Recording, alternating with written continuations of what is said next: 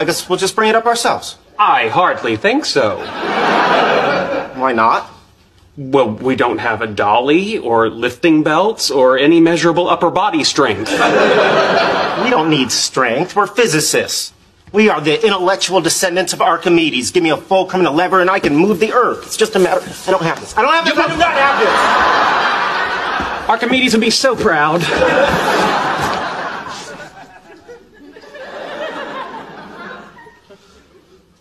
Do you have any ideas? Yes, but they all involve a green lantern and a power ring.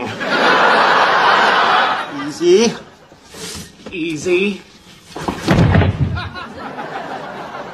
Okay. Now we've got an inclined plane. The force required to lift is reduced by the sine of the angle of the stairs, call it 30 degrees, so about half. Exactly half.